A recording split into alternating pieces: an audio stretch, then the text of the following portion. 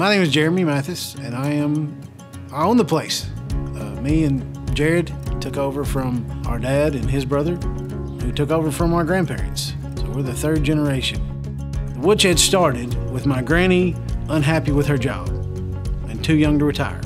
1984, my mother was out of work. She had quit the factory and didn't like it.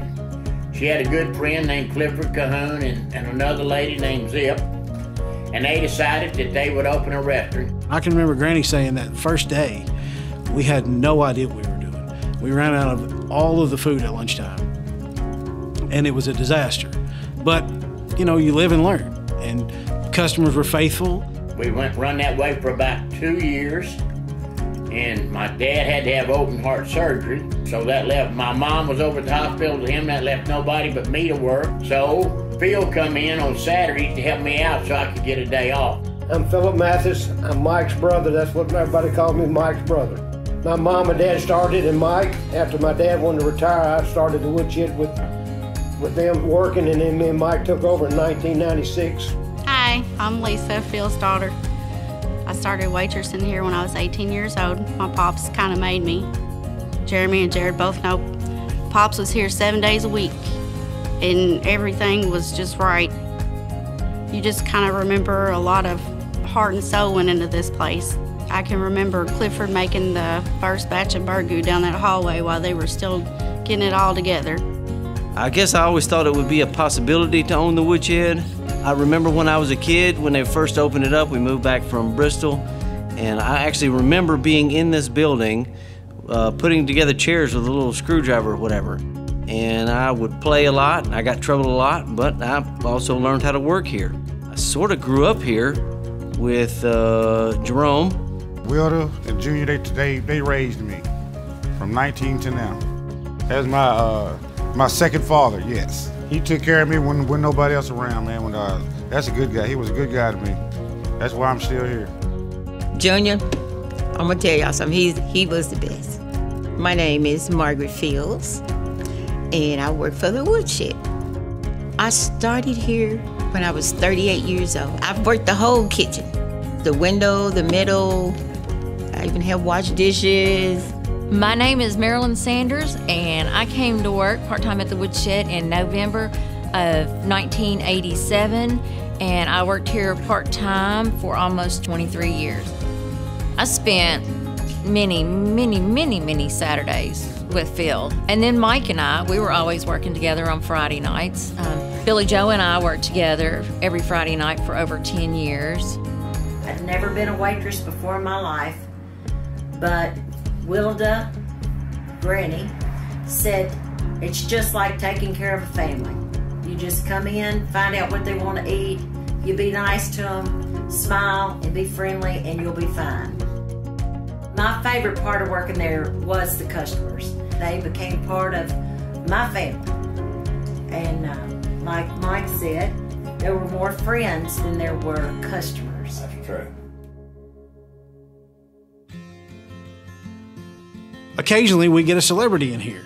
We've had um, Bobby Knight, the IU basketball coach for all those years. We've had uh, a handful of Kentucky basketball players to come in.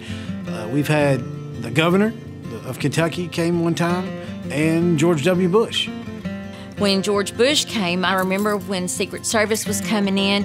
It was uh, it was it was very very exciting. It was uh, it was a rush that's kind of hard to describe. There was the y'all. Woodshed was excitement, but he came in, you know, and he sit right over there on, at table eight. Oh my goodness, I was so excited. I waited on him. He had barbecue pork, baked bean salt potato salad, and burgoo. He had a piece of coconut pie and a Diet Coke. He sat down at the table and talked with us as if he was one of our friends that we had known for years. The most significant thing to happen in my time at the Woodshed is COVID. COVID and the shutdown pretty much changed everything. It's the reason we have an outside waitress. My name's Elizabeth. Most of everybody knows me by Liz here. I've been working here for six years. I was the last person trained by Billy Joe and Mike. And then after that, the boys took over. And now they're like brothers that I never really wanted. I think the best answer for why we made it 40 years is just simply because we value our customers. We try to have a personal experience with you. This is a place where we watch Kentucky basketball together, where we where we just we do life together. And I think that's probably what did it. I think it's the family atmosphere. You care about the community. The people come in, they feel at home.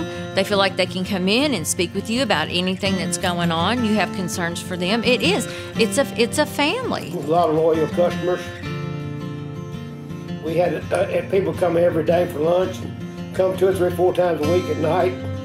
Just real loyal customers. If it wasn't for them, we couldn't have made it. I love it.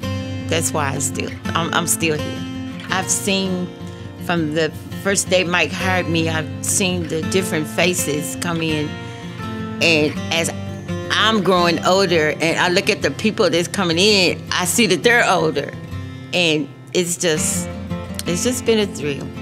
We had a lot of good uh, customers that was very loyal to us. We put out a, a good plate lunch at a good price, and it and it's continued that way up until this day.